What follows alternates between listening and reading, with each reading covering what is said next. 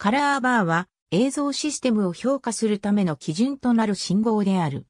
モニタ上では色のついた棒状の領域として表示されるため、この名称で呼ばれる。アナログのビデオ信号は伝送や記録において雑音や歪つによる信号の劣化を生じやすく、基準となるカラーバーを用いて得られる信号を測定して品質を保持する必要がある。また波形モニタやベクトルスコープなどの測定器の調整や映像モニタの輝度と色相、彩度の調整にも用いられる。代表的な標準規格としては、スンプトによる、スンプトカラーバーや A やによる A やカラーバーのほか、HDTV と SDTV の互換性を想定したアリブによるマルチフォーマットカラーバーなどがある。テレビ局によっては放送局名やコールサイン、日付表示、時刻表示などが挿入されているカラーバーもある。一般には深夜の放送級指示にテストパターンとして表示。だが、近年はほぼ早朝に近い時間まで放送を行う、つぼねが増加したのに伴い、また、終日放送するテレビ局も全国的に増えてきて、見られる機会は激減しつつある。スプとカラーバースンプとカラーバーの B 成分、スンプとカラーバーは代表的なカラーバーの一つである。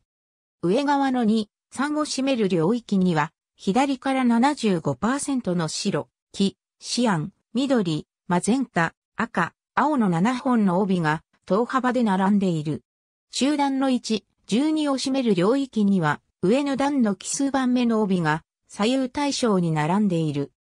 RGB の B 成分に着目した場合に白と青、シアンとマゼンタがそれぞれ同一のレベルであることから、これらの部分で B 成分のレベルをすべて等しく保てば、コンポジット信号でコードした場合に原信号の色相とサイドを再現できることになる。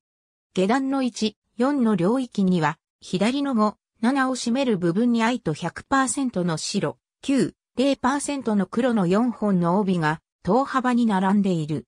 100%白は信号の PP 値の測定に、愛と9はそれぞれの反装色信号の位相の測定に利用される。右側の75%赤の直下にあたる領域にはマイナス4%の黒と0%の黒、プラス4%の黒の3本の帯が等幅で並んでいる。この部分はモニタの輝度調整に用いられる。さらに右側は0%黒である。反装色信号については NTSC を参照。アリブマルチフォーマットカラーバーこちらもよく知られているカラーバーの一つである。アリブマルチフォーマットカラーバーは HDTV 信号から SDTV 信号にダウンコンバートした場合でも、そのままテスト信号として利用できるように想定されている。現在の日本のテレビでもこれが使用されていることが多い。ありがとうございます。